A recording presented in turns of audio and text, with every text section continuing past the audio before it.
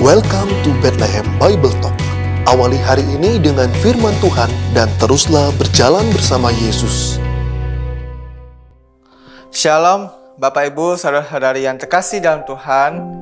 Kita patut bersyukur kepada Tuhan karena kita bisa memasuki tahun yang baru yaitu tahun 2022 ini dengan penuh sukacita. Dan di hari ini, mari saya mengajak kita bersama-sama merenungkan kisah dari Yohanes Pembaptis yang terambil dalam Injil Matius pasal 3 ayat 1 sampai 17. Namun kita hanya membaca ayat 1 sampai 3 saja. Demikianlah firman Tuhan. Pada waktu itu tampillah Yohanes Pembaptis di padang gurun Yudea dan memberitakan, "Bertobatlah, sebab kerajaan surga sudah dekat."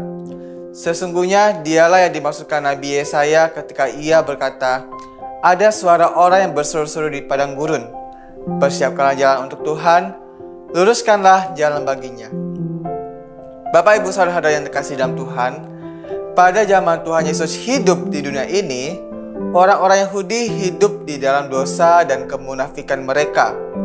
Maka dari itu, Yohanes Pembaptis memperlihatkan segala kejahatan mereka yang dimulai dari ahli Taurat, para tentara, bahkan termasuk orang Yahudi sendiri.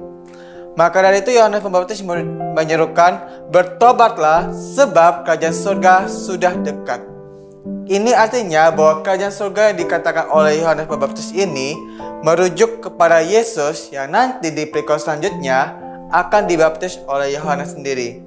Karena kedatangan Kristus ini di dunia salah satunya untuk mewartakan Injil bagi orang-orang yang berdosa agar mereka itu bisa bertobat dan bisa mengikuti Kristus. Demikian dengan kita Bapak Ibu Saudara yang terkasih dalam Tuhan. Kita sudah memasuki tahun 2022 dan kita pasti membawa dosa-dosa yang kita bawa sampai pada hari ini. Apalagi ini adalah waktu menjelang kedatangan Kristus yang kedua kali.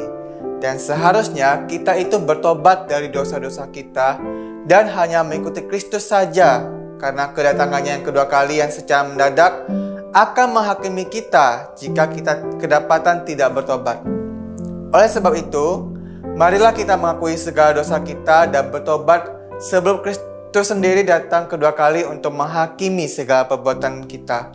Dan dengan demikian, kita bisa mengikuti Kristus sepanjang hidup kita dan bisa menikmati anugerah Tuhan yang begitu luar biasa dalam kehidupan kita. Demikian untuk renungan firman Tuhan yang saya berikan pada hari ini. Kiranya Tuhan Yesus yang memberkati kita semua. Dan mari kita bersatu dalam doa. Terima kasih Bapak. Pada saat ini kami bisa masuki tahun ini dengan penuh ucapan syukur. Dan kami tahu Bapak bahwa sepanjang kehidupan kami, kami tidak pernah luput dari dosa dan kesalahan kami. Oleh sebab itu, biarkannya Engkau yang mengampuni segala dosa kami, Engkau yang mengampuni segala kesalahan kami, supaya kami bisa terus mengikuti Engkau dan juga supaya kami bisa berjaga-jaga ketika Engkau datang kedua kali nanti, Bapa. Terima kasih, Bapa. Biarkannya segala aktivitas, aktivitas kami Engkau yang pelihara, Engkau yang berkati dalam setiap kehidupan kami. Inilah doa kami, Bapa. Kami serahkan doa kami ini demi Tuhan kami Yesus Kristus. Kami bersyukur dalam doa. Amin. Demikianlah Bible Talk hari ini. Tuhan Yesus memberkati.